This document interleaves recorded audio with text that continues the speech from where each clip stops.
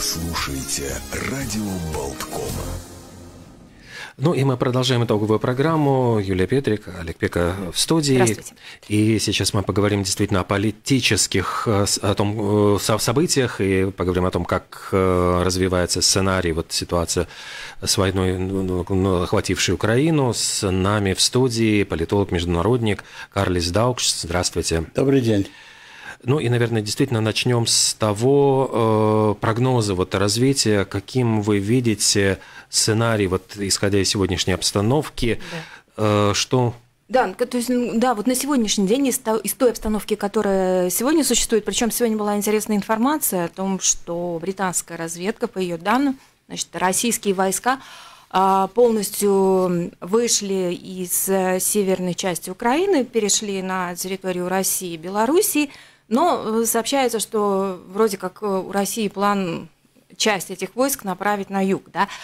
Эм, в то же время представитель Кремля Песков заявил о том, что в интервью телеканалу Sky News, что скоро все закончится, да, или путем переговоров с Украиной, ну, или каким-то другим путем, но он пообещал, что скоро все закончится. То есть вот на сегодняшний день, исходя из всей этой риторики, а каким вы видите развитие ситуации, учитывая последние переговоры между а, Москвой и Киевом?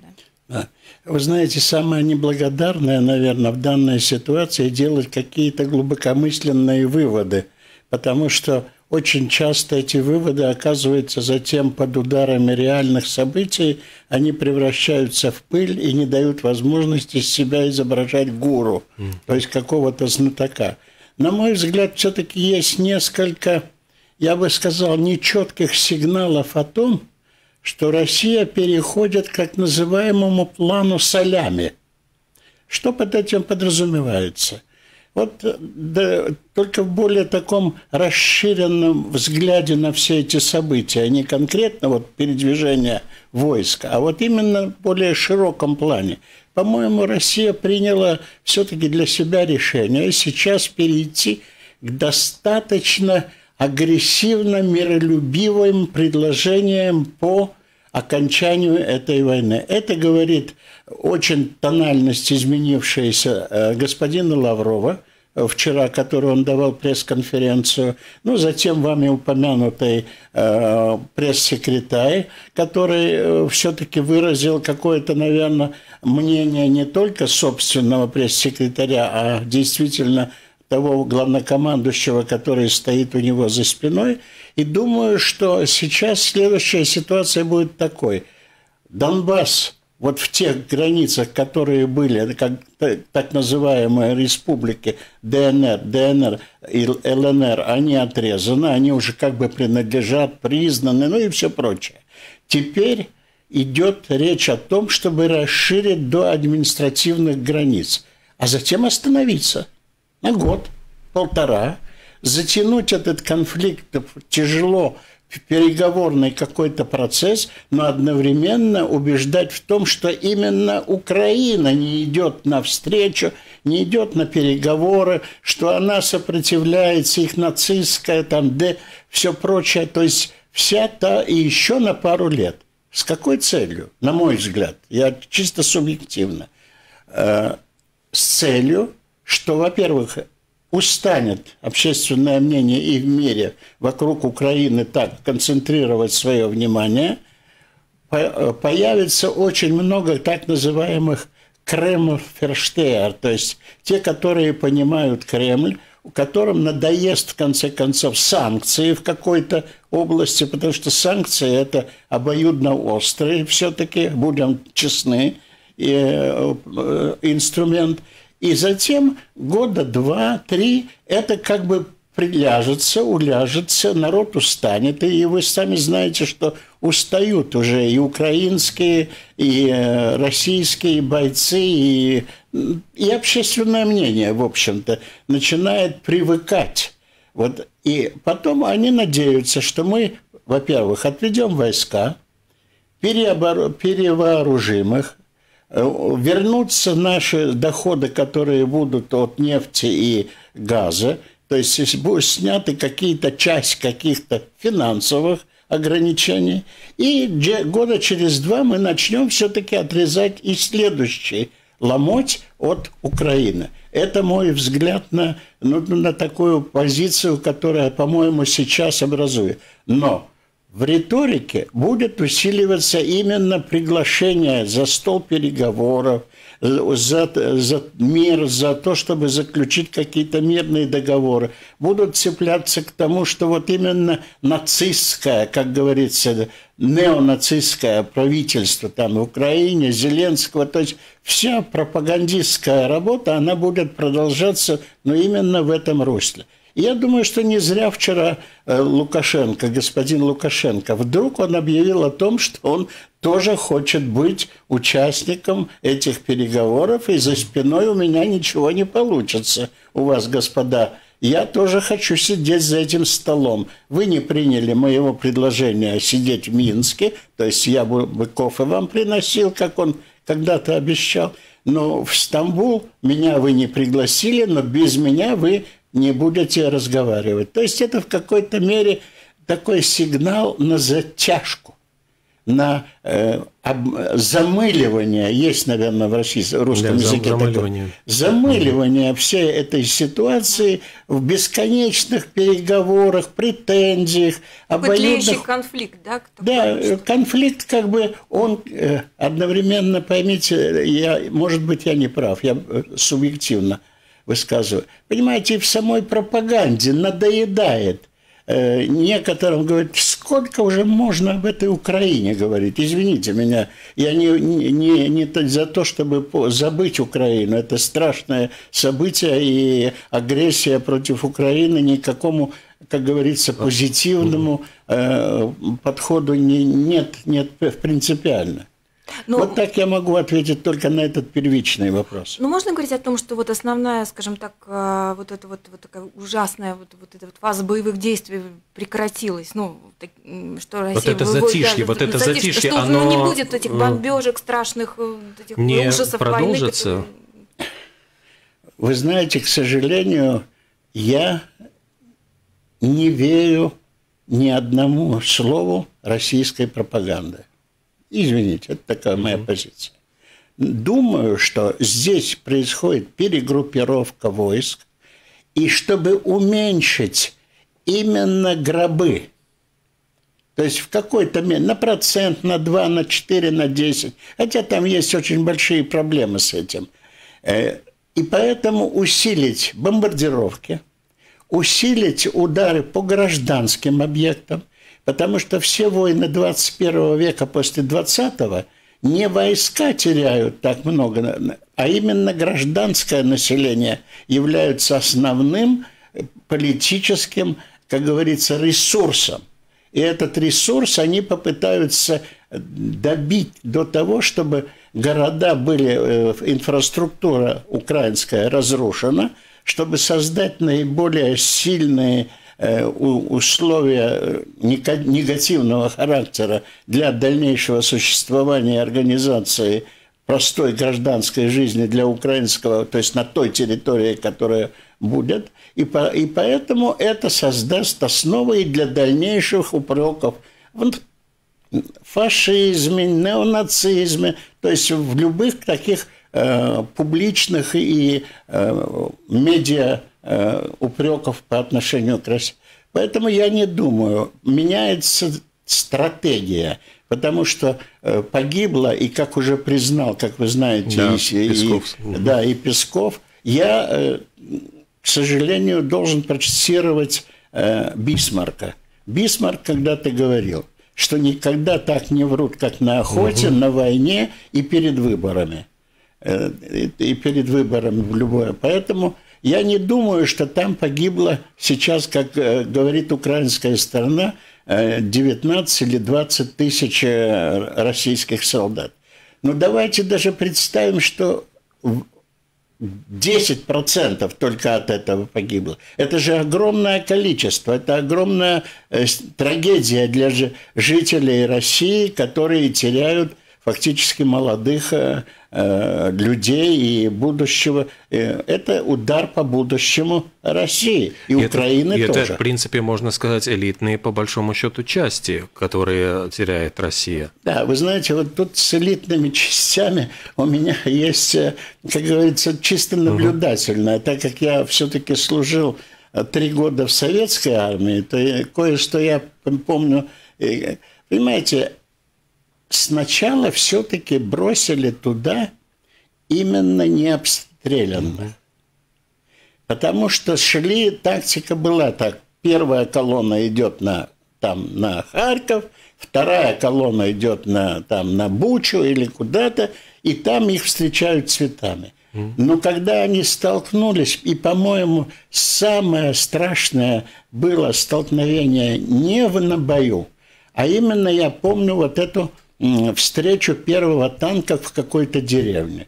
Когда этот танк российский с солдатиками остановила женщина и говорит, мальчишки, куда вы едете? Здесь же каждая вторая баба ведьма. Вас же так заколдуют, что вы отсюда не выберетесь. Понимаете, сам, сама атмосфера восприятия и э, то есть это народ не хочет. Вот он не хочет этот именно глубинный народ.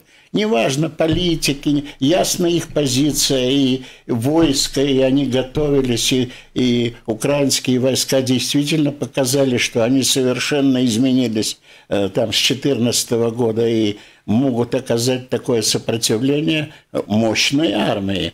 Но затем поняли, что мальчишки не могут ничего сделать. И вот тогда зашли вагнеровцы, и я посмотрел список тех солдат, которые участвовали в этих преступлениях в Бучах. Э, там 38-39 лет парням. Там 2-3 человечка было 20-летних. А туда вошли зубры, которые были, и все, у всех у них участие в Сирии. Понимаете?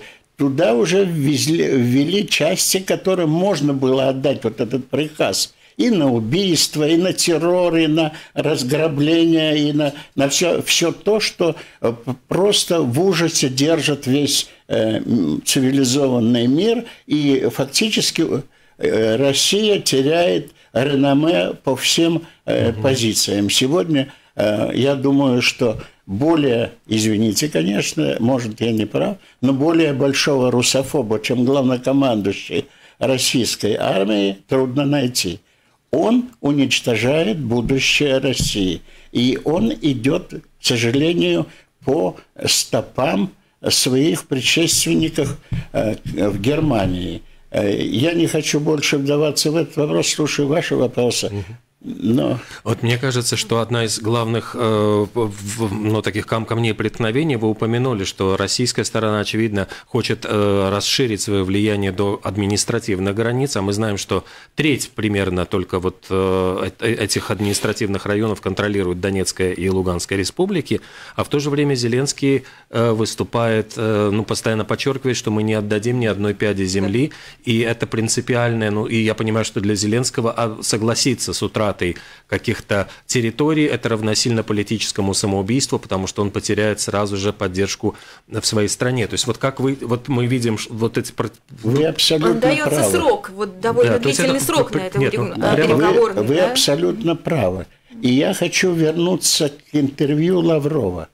Он, в принципе, дал ответ фактически на вот наши эти вопросы. И у меня тоже есть вопрос он вдруг говорит, что на вторых переговорах вдруг изменилась украинская позиция, что сначала они были за нейтральный статус, и Донбасс, и Крым оставляем на 15 лет на какие-то дальнейшие переговоры, а вот второй вариант уже был выложен, в котором не упоминаются ни Крым, ни Донбасс, ни ничего.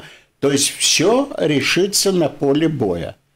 А поле боя, я думаю, достаточно жесткое, потому что, и на мой взгляд, если сейчас это все так, как это преподносится, это будет фронтовая операция, это больше не будет какие-то группы, там, батальонные группы, а это фронтовая э, операция по типу Второй мировой войны. Мне, как историку, просто тяжело просто слушать, потому что я знаю хорошо, как шла э, немецко-русская война на этих же территориях вокруг Харькова, Краматорска, э, Изюм, который там является сейчас как бы на слуху у всех. Это, это те территории, на которых погибло огромное количество советских солдат в борьбе за э, свободу фактически Советского э, Союза и русского народа. И поэтому очень тяжело слышать эти все... Повторения этих всех. Повторения, да. да э, этой крови, которая льется на тех же полях.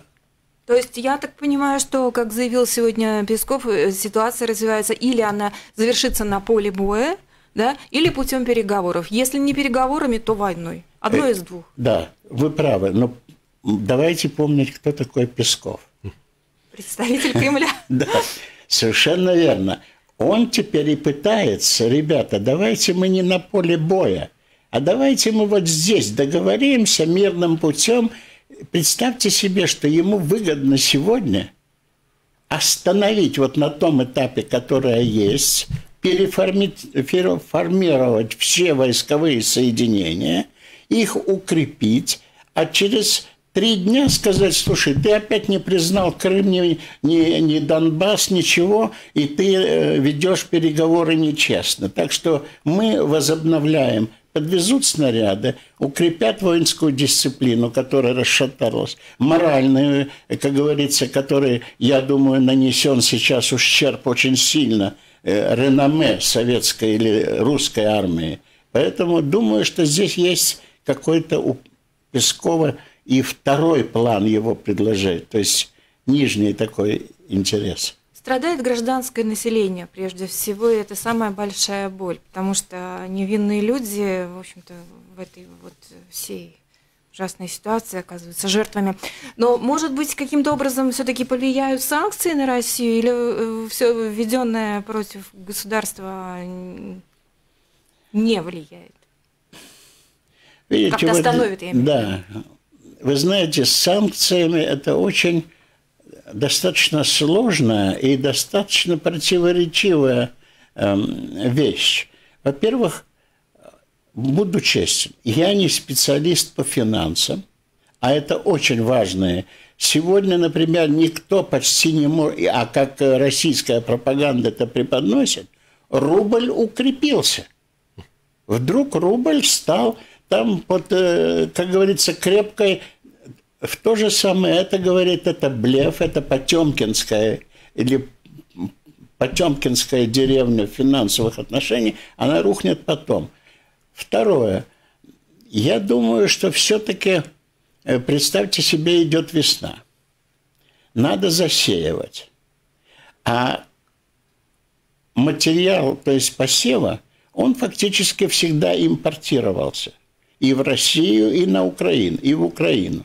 И поэтому второй, вторая позиция, а что делать с украинскими полями? Это самый большой э, склад э, продовольствия фактически, и для мира тоже, и для России. Она же могла продавать только потому и получать, потому что у нее всегда была возможность всегда опираться в торговых операциях. Поэтому здесь с санкциями нужно быть очень осторожным.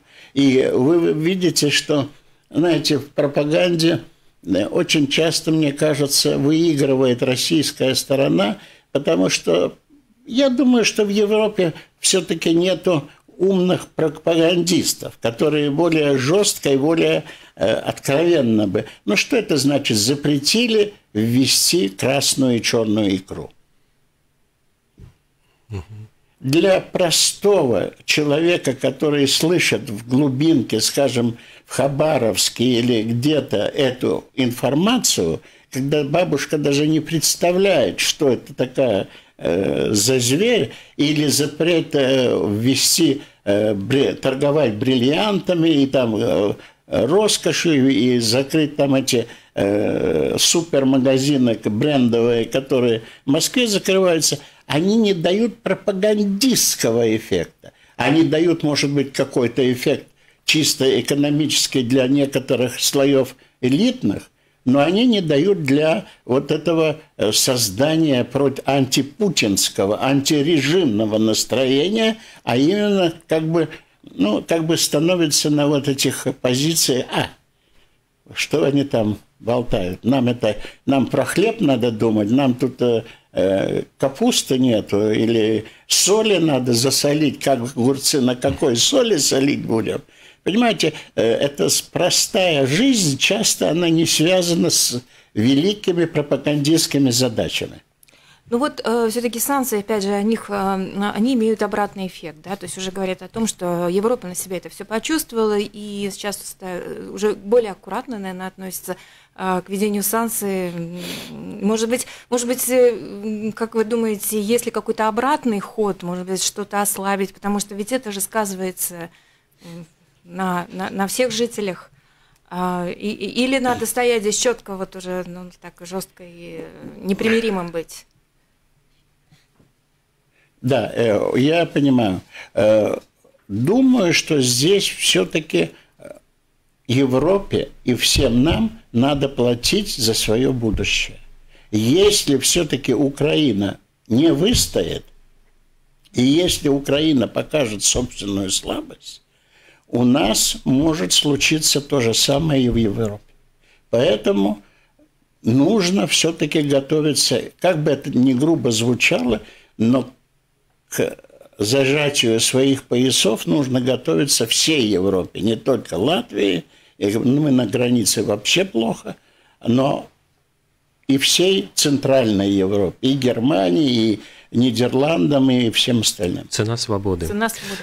Что Ясно. Ж... У нас время подходит к завершению. Да, Спасибо уже. большое. Да, Карлис Даукс, да. политолог-международник, сегодня отвечал на наши вопросы. Спасибо вам огромное. Хорошего дня. Спасибо, Спасибо. большое. Да. Радио.